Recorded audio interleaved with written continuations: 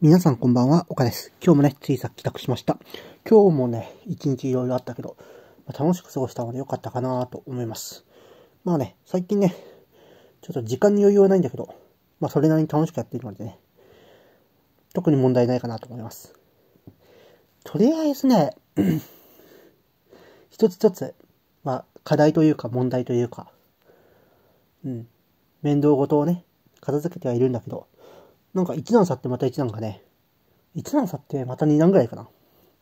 増えてきてるんだよね。で、積み重なって、後片付けに時間かかってって感じかな。まあ、それでもね、今回は大したことないんだよね。いつもと比べたら。いつもの多忙とかが50だとしたら、今15ぐらいかな。多分20もいかないね。15、6、7。どれかかな。うん。まあ、そんな大したことないんで。またしばらくしたらね、ゆっくりできるかなと思います。とりあえず、また、これから出かけなくちゃいけないので、簡単にします。でね、なんか質問コーナーとか、簡単なね、受け答えができるような、なんか質問とかがあれば、答えますので、よかったら、聞いてください。それでは、今日もありがとう。また明日もよろしく。